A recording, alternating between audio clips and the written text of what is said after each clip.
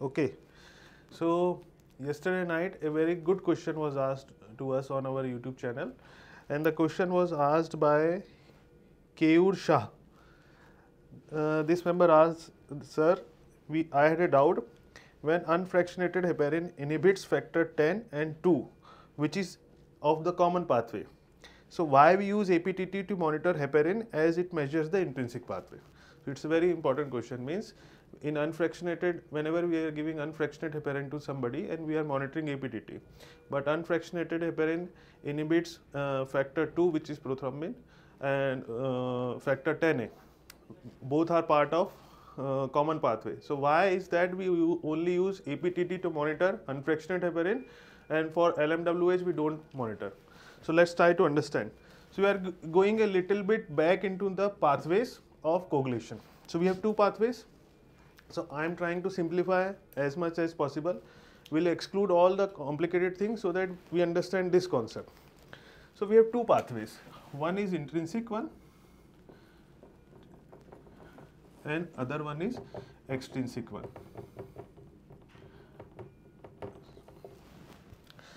So the intrinsic pathway, the first factor to get activated is factor 12. This gets activated and this activates factor 11. When this gets activated, it activates factor 9 and this 9 activates factor 10 and 10 gets activated into 10A and 10A activates factor 2 which is prothrombin. Thrombin. And prothrombin uh, gets activated into thrombin. And thrombin then converts fibrinogen fibrinogen to fibrin ultimately we want to uh, make fibrin strand. This, this, this is the plug which is formed at the blood vessel. So, from here it is the common pathway, above this is your intrinsic pathway. Now, in extrinsic pathway the factor uh, first get activated in tissue factor, tissue factor activates factor 7 and when factor 7 gets means all these factor uh, convert into 12 to 12a then 12a activates 9 it gets converted into uh, uh sorry 11 activated then it activates 9 and 9 gets converted into activated 9 and then activated. So, for the simplicity I am mentioning only the factors name. So, tissue factor activates in extrinsic then factor 7 and this activates factor 10. So, up till now it is clear that this is your intrinsic pathway and this is your extrinsic pathway. Now, what unfractionated heparin do? Before uh, understanding that, you need to understand one more thing when your this thrombin gets activated this this is the only step which is required which is important when your thrombin gets activated this thrombin activates three more factors those factors are factor 5 factor 8 and factor 13 which is von Willebrand factor so this von Willebrand factor what this do it's it uh, so the fibrin strands are like this. What von Willebrand factors do is it makes cross links between these. So it creates a mesh. So it gives stability to the fibrin plaque. So that's why if the patient is von Willebrand factor deficient, the fibrin plug will not be that strong and it, it manifests as uh, bleeding. So you understood this? Thrombin activates factor 13 also. Thrombin also activates factor 5 and factor 8 this factor 5 is required to work for factor 10 it acts a co it acts a, act as a cofactor for factor 10 you can remember 10 and 5 by the uh, half and double of this. Factor 8 is important for factor 9 so 9 and 8 are both side by side that's why it is important. And because of this thrombin activating factor 9 and factor 8 uh, and factor 30 uh, for factor 8 and factor 5 this intrinsic pathway gets activated. It gets multi it gets boost up. So again i am revising.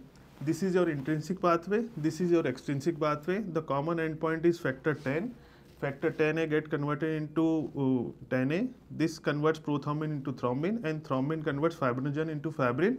But other than that, fibrin also activates factor 8 which is important for factor 9 and factor 5 which is important for factor 10. Now here comes the most important thing, unfractionated heparin and LMWH. Unfractionated heparin blocks, uh, activates antithrombin unfractionated uh, heparin acts by antithrombin. It activates the antithrombin. So antithrombin, uh, uh, what does? It blocks factor 10 and it blocks thrombin. Going because unfractionated heparin has both high, it's a high molecular weight heparin and it, all, it has long chains which is required to block thrombin also. The small chains can active, inactivate factor 10 but the long chains are required to activate thrombin. So when unfractionated heparin blocks 10A, it blocks the common pathway but when it blocks the thrombin, your indirectly your intrinsic pathway gets blocked. While low molecular weight heparin only blocks 10A. So in 10A the common pathway gets blocked. But in unfractionated heparin because of the blockage of thrombin your intrinsic pathway also get blocked. That's why APTT is used as a measure to know the activity of unfractionated heparin. I'm trying, I'm able to explain. Unfractionated heparin has uh, long chains and long chains are required to block thrombin activity. This thrombin activity, though um, uh, this uh, thrombin activity when gets blocked, it helps in uh, formation of clots as well as it blocks your intrinsic pathway. So that's why APTT is used to measure unfractionated heparin activity. While low molecular weight heparin all, only had short chains and it can only block factor 10. So it doesn't affect thrombin. So it affects uh, it affects factor 10A and by 10A thrombin doesn't get in, in um, uh, means it gets inhibited indirectly. But direct inhibition of thrombin is via unfractionated heparin. So this is this has a more potential activity on anticoagulation than LMWH.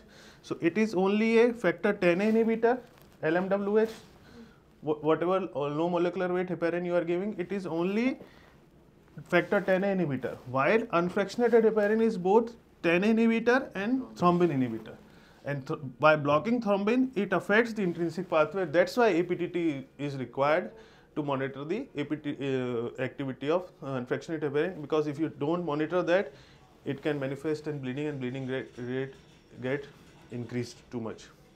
Am I am able to explain any doubt? Any doubt regarding this why unfractionated heparin and low molecular heparin are given and, and why unfractionated heparin we need to monitor APTT and LMWH we don't monitor APTT. It is it only affects factor 10 and 10A gets blocked while unfractionated heparin blocks 10A and thrombin via antithrombin activity because it has long chains long longer uh, molecule and long chains are required to block thrombin while LMWH doesn't have long chains it only blocks 10 clear Okay, thank you for asking this question. Uh, do read more about this.